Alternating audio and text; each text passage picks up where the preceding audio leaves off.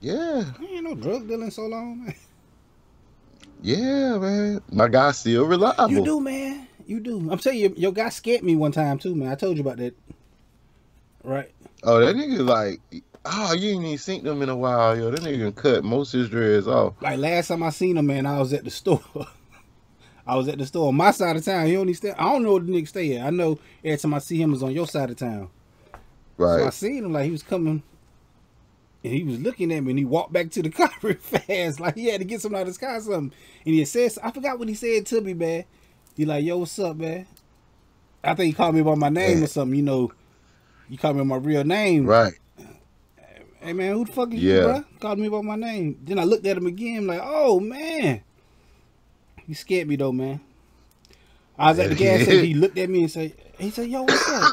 And he said my name. He said, ain't you? I'm like, yeah. So I'm pumping the gas and my gas pump is on the driver's side. Right. The gun is on the damn passenger side in the glove department. I'm looking like, man. I'm looking like, man, this ain't no, it ain't gonna go down like that. The thing is, it, it was gonna go down because I had my keys in my pocket, but the, the, um, the gun locked up in the glove department. I'm already on the driver's side, right?